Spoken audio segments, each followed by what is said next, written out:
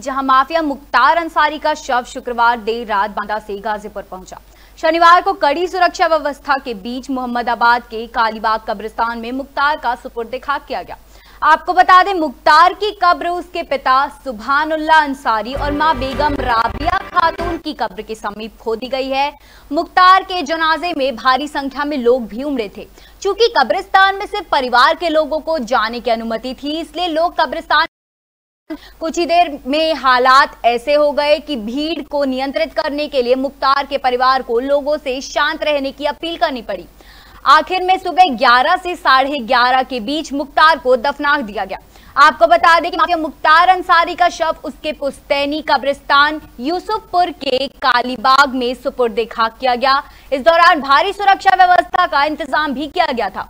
मुख्तार के स्वजन में उनके बड़े भाई सांसद अफजाल अंसारी, पूर्व विधायक सिग्गतुल्ला अंसारी, भतीजे मोहम्मदाबाद विधायक सुही बेटा उमर अंसारी सहित सभी ने मुख्तार के कब्र पर मिट्टी देकर अंतिम विदाई दी।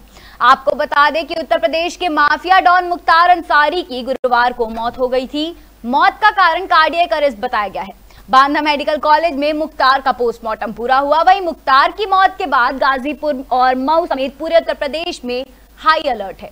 पुलिस ने सभी जिलों में पहरा बढ़ा दिया है। वहीं मुख्तार अंसारी के अंतिम संस्कार से पहले नमाज़ जनाजा की भी रस्म आ गई।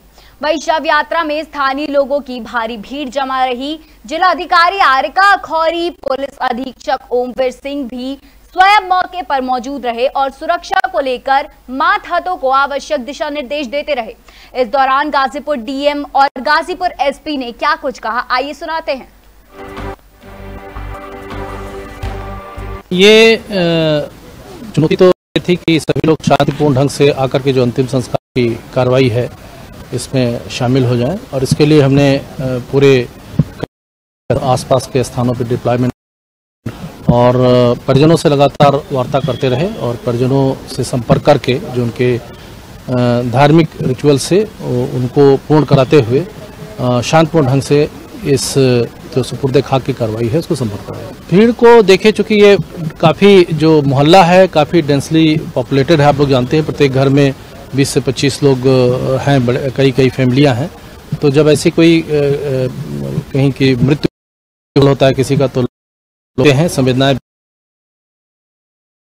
नमाज़ थी प्रिंस मैदान में, वहाँ पे लोग इकट्ठे हुए थे और वहाँ से जैसा कि परिजनों से वार्ता की गई थी लगभग 50-60 लोग जो कब्रिस्तान था, वहाँ पर जाने के लिए बात हुई थी तो उतने ही लोग गए और सब लोगों ने उसमें शामिल किया। अब सुपुर्द खाक के बाद मिट्टी उट्टी देने के लिए जो दो चार नियर एंड डियर्स उनके जो परिजन हैं, जिनकी अनुमति घर वाले दे रहे हैं, वो अपना ग्रुप में आकर के मिट्टी की कार्रवाई कर रहे हैं और बाकी सभी लोगों का हो रहा है। वो नेचुरल है, वो आते ही। बट जिन्होंने नारेबाजी की है, उन सबकी वीडियोग्राफी कराई गई है और सबके विरुद्ध कार्रवाई करेंगे। क्योंकि हम बार बार अनाउंस भी कर रहे थे, आदर्श आचार संहिता है तो उसके अनुरूप सबको आचरण रखना चाहिए। जिसने भी उल्लंघन किया है, उसके विरुद्ध विधिक कार्रवाई होगी, उसके विरुद्ध मुकदमा दर्ज कराया जाएगा।